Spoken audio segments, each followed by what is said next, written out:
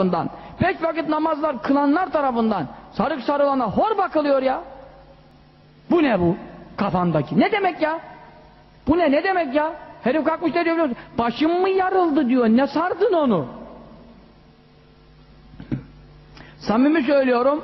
Bir insan sarık sarmasa dinden çıkmaz. Sevabından mahrum olur. Sünneti terk etmiş olur. Sarık sarmayan dinden çıkar mı? Çıkmaz.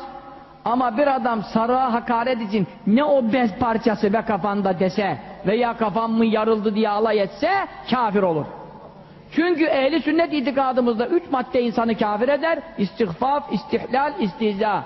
Yani harama helal demek, İslam'ın en ufak bir meselesini hafife almak, küçümsemek ve dinden olduğu bilinen bir meseleyle alay etmek. Öyle midir değil midir? Bir insan sakalını kesse kafir olur mu? Olmaz. Ne olur? Günahkar olur, haram işlemiş olur. Ama derse ki sakalda tüydür, tüyde keramet mi olur Ke yoksa keçide olmaz. Tüyde keramet olsa keçi göğe çekilir dese kafir olur. Çünkü bir sünneti ne yapmıştır? Küçümsemiş, alay etmiş olur. Bırakmasa kafir olmaz, alay ederse dinden çıkar. Çünkü peygamberin sünnetiyle alay etmek zerre kadar imanı olana yakışmaz. Hafife almak, küçümsemek asla bir mümin alameti, nişanı, kârı olamaz.